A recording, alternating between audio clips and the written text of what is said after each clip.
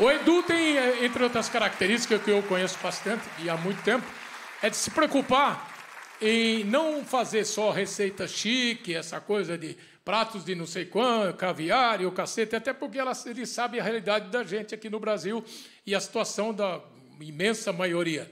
Com essa situação, tanto pandemia, economia do jeito que está, com desemprego, com toda essa situação, isso já vem desde que o Cabral chegou aqui, não o Cabral que está preso outra.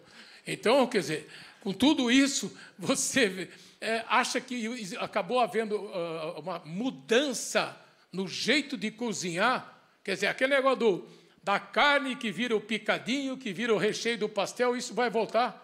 Eu acho que a questão cultural e a mudança, muitas vezes, no pensamento das pessoas também, Fausto. No dia 2 da pandemia, a gente tem alguns trabalhos comunitários sempre ajudando com aquilo que a gente faz, cozinhando para ensinar as pessoas a fazerem, replicarem muitas vezes os pratos. Porque, ou... na verdade, não é só questão de saber cozinhar, né, Edu? É, por exemplo, se está caro está um absurdo o preço de carne ou o preço disso, vocês dão opções que a pessoa pode, com criatividade, superar isso. Sem dúvida nenhuma. A gente tem a oportunidade aqui na Band, em um ano, eu lembro que a gente tinha feito 1.200 receitas na TV. É muita receita. Então, a gente tenta, ao máximo, dar a possibilidade da pessoa cozinhar com pouco.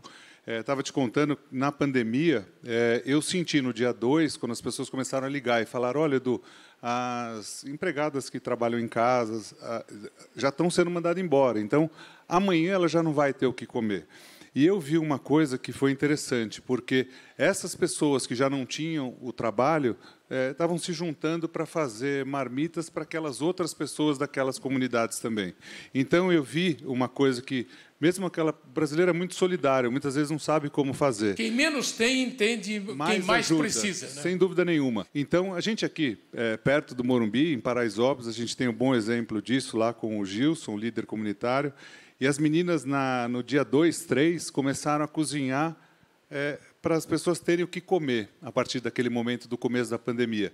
É, e, e você via a situação delas, elas desempregadas, mas se alistando a cozinhar para os outros. Então a gente é, viu um lado muito positivo em tudo isso também.